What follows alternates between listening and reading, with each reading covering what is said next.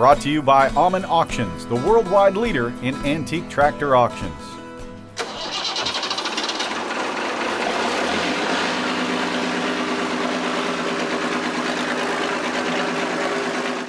North Dakota is wheat country. And back in the mid 1960s, what farmers really needed in big, wide open spaces like this was a whole lot of pulling power.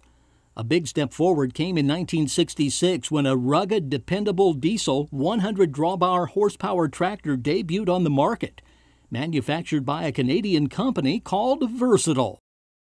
This is what started all. Like, uh, you know, in 66, they made uh, roughly 125 tractors, gas and diesel. And in 67, they made around, uh, it was over a thousand, and it just kept going from there. The reason for Versatile's tremendous success was that the four wheel drive D100 was a third of the cost of comparable tractors from John Deere, International, and Case. As a matter of fact, its $10,000 price tag was about the same as two wheel drive tractors then on the market. It was kind of the right tractor at the right time, and Versatile really became a successful company because of these. Everyone who knew, knew Versatile, and those who knew lived in the upper Midwest. Matt's father, Daryl, was a Versatile dealer during its heyday. Believe me, they had the lion's share in, uh, in Western Canada and the northern states. They're easy to sell, put it that way. We, we sold piles of them back in 73, 74, all through the 70s. A component built tractor, the D100 featured a four speed Funk transfer case, 363 cubic inch Ford industrial engine, and 12 speed Spicer transmission. Do we hear tractor fever?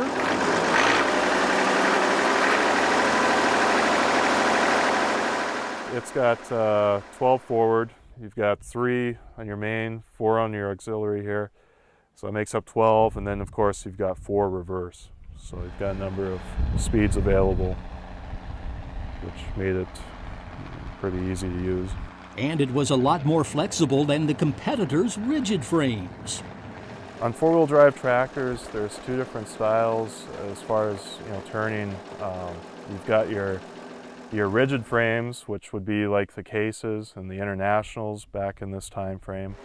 And then you've got uh, the articulating style four-wheel drive, and that's, that's an, this is an example of that, it articulates in the center, and that's where you get your, your maneuverability.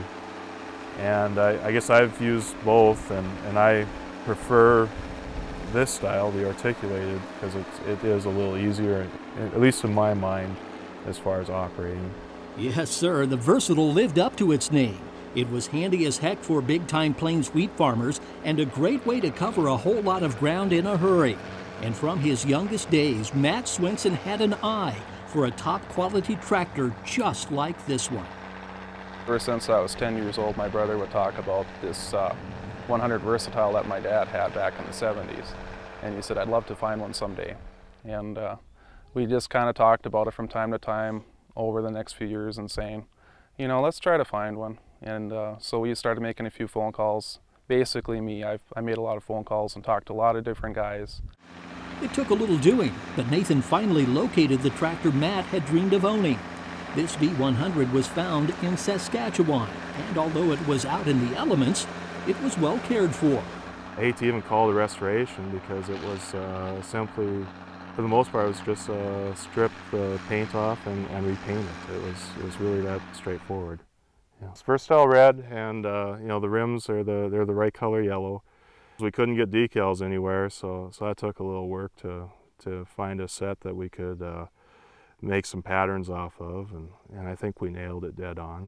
My brother's kind of picky about wanting to make the tractors look as original as possible. When it comes to classic tractors, being original is a great thing. From the paint to the decals to the color of the grill. But to keep this Big Red Brute's exhaust system looking top notch, Matt decided to be a little versatile. One of my pet peeves when I look at restored tractors, a lot of times they'll just paint the manifold or, or not do anything at all. And, you know, of course, if they painted it, it's bubbling off, or, or if they didn't do anything, it's rusty. Uh, I have a good friend that uh, does ceramic coating and that's what I had him do. He ceramic coated the complete exhaust system. The attention to detail shows, and no doubt Matt's pretty darn proud of his 1966 Versatile D100. In fact, all the Swensons are, and together they're preserving another intriguing piece of agricultural history. Gotten to be a family hobby collecting these tractors. These, of course, are our favorites. It keeps us out of trouble. We probably spend a little money. We probably spend a little more money than we should, but uh, that kind of goes with the territory.